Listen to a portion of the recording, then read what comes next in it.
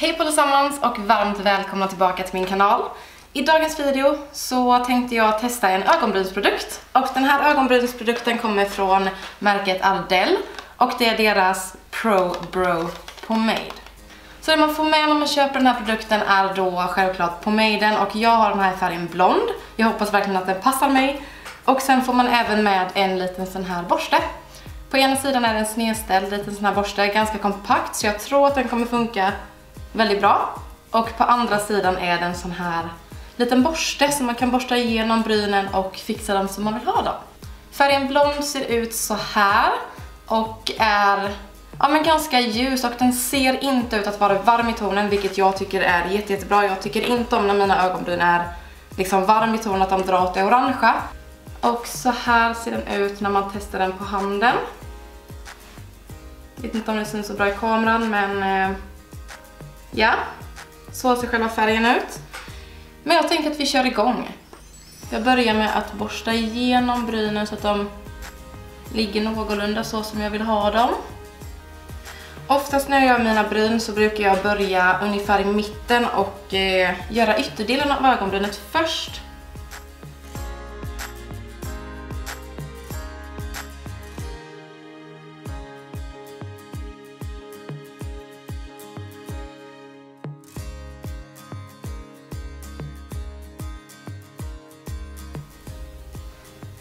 Färgen ser ut att passa jätte, jättebra.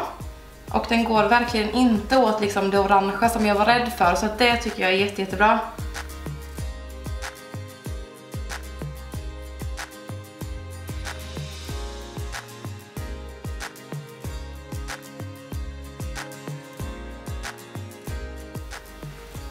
Så ena brynet på plats och eh, den var jättelätt att arbeta med. Dock så känns den lite smulig. Jag vet inte om det är Eh, om det är så som eh, formulan, eller vad säger man, eh, själva konsistensen på den här ögonbrynsprodukten ska vara. Men det är nästan som att det blir lite klumpigt, alltså det, det fastnar liksom klumpar, jag vet inte riktigt hur man ska förklara. Men den var superenkel att arbeta med, det gick ju liksom bra ändå, även om, om det kändes som att den alltså smula sig kan man väl kanske säga. Vi kör på nästa bryn så kör vi Försöker få det likadant.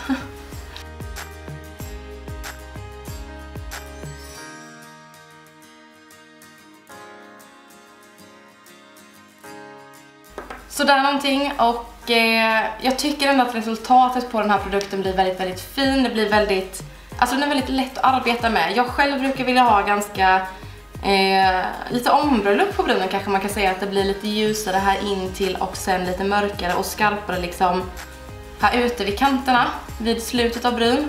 Och det är väldigt, väldigt lätt att göra det för att det, man kan lätt blanda ut skugg, eller skuggan, den här produkten så att det blir lite ljusare och inte så starkt här inne och man kan även liksom borsta så att det blir lite, lite mindre färg där inne.